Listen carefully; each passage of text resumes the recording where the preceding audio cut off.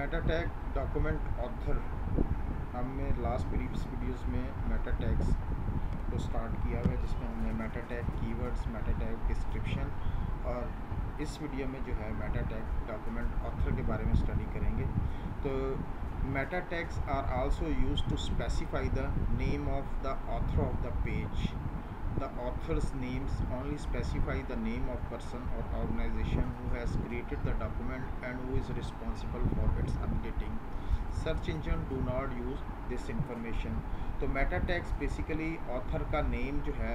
किसी भी web page का अपने ऑथर नेम स्पेसिफाई करना हो तो मेटा टैग के थ्रू जो है वो आप स्पेसिफाई कर सकते हैं ऑथर्स नेम जो है, वो बेसिकली किसी पर्सन का नाम भी हो सकता है और ऑर्गेनाइजेशन का भी नाम हो सकता है, जो कि रिस्पॉन्सिबल है उस डॉक्यूमेंट को क्रिएट करने के लिए और अपडेट करने के लिए। यानी कि अपडेट और क्रिएशन जो है, जिस पर्सन और ऑर्गेनाइजेशन ने परफॉर्म करनी है that will be a specify in the meta tag author name author author का नेम हम स्पेसिफाई करेंगे। और सर्च इंजन जो है, वो इस इंफॉर्मेशन को बेसिकली यूज़ नहीं करता। लाइक like जैसे कि हमने जो है कीवर्ड्स मेटा टैग कीवर्ड्स और मेटा कैब मेटा टैग डिस्क्रिप्शन को स्टडी किया था, उसमें जो इन्फॉर्मेशन हम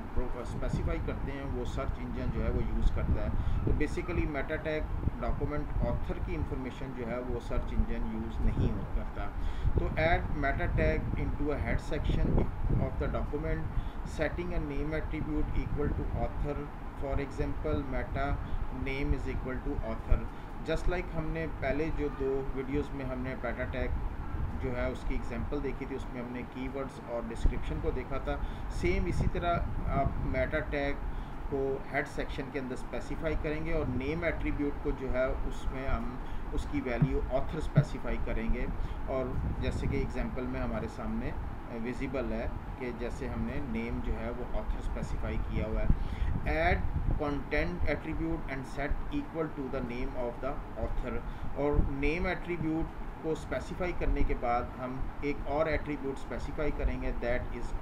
कंटेंट एट्रीब्यूट और उसकी वैल्यू जो है, वो हम जो भी ऑथर का नाम हमने स्पेसिफाई करना है, वो हम कंटेंट के अंदर स्पेसिफाई करेंगे। फॉर एग्जांपल हमारे पास ये एक एचटीएमएल का कोड है, और अगर हम देखें तो यहाँ से ये हेड सेक्शन स्टार्ट हो रहा है, और यहाँ तक हमारे पास ये हेड सेक्शन है। इसमें हमने टाइटल स्पेसिफाई किया था, और उसके बाद हमने मेटा टैग जो है, वो यूज़ कर रहे हैं। मेटा टैग में सबसे पहले जो नेम एट्रीब्यूट हम यूज़ किया कीवर्ड और उसमें फिर हमने कीवर्ड्स को स्पेसिफाई किए हैं और कॉमर्स से सेपरेट किया है। इसी तरह हमने फिर मेटा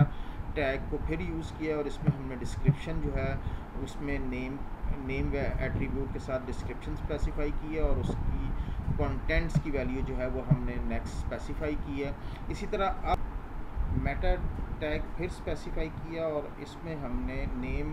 एट्रीब्यूट जो है उसकी वैल्यू ऑथर स्पेसिफाई की है और कंटेंट में हमने ऑथर का नेम जो है वो स्पेसिफाई किया। तो इस तरह हमने